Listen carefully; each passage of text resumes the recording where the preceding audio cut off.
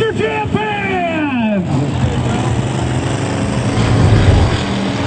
All right, I'm standing here with Tom Meents and Maximum Destruction. First qualifying round, you had a 23.91. How's the track out there? Man, the track's awesome, you know. A little tight right now. It's going to loosen up as the rounds go on, you know. I mean, good in the beginning. We got to watch it. Every round it changes. It's dirt.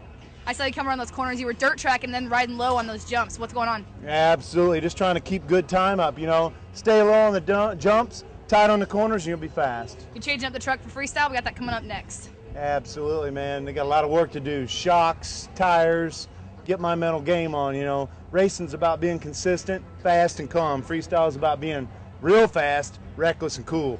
And you're great about putting on a show, so what can we expect from you in freestyle? Hey, there's one thing you can expect out here in Salinas, that's for sure. They've been seeing it for 10 years maximum destruction.